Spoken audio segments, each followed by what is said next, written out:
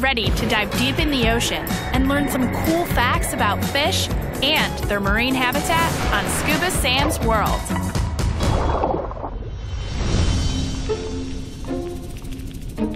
This slow moving sea creature is never in a hurry and leaves a trail of slime in its path.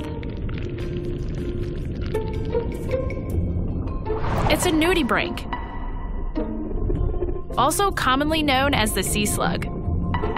They are related to snails, but unlike their cousins, they do not have a shell.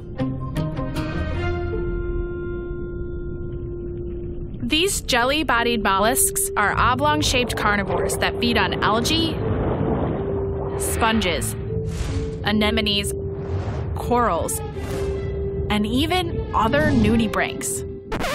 That's right. They prey on their own. Nudibranchs have two highly sensitive tentacles that detect prey and can take on the coloring from their food as a camouflage to protect against predators.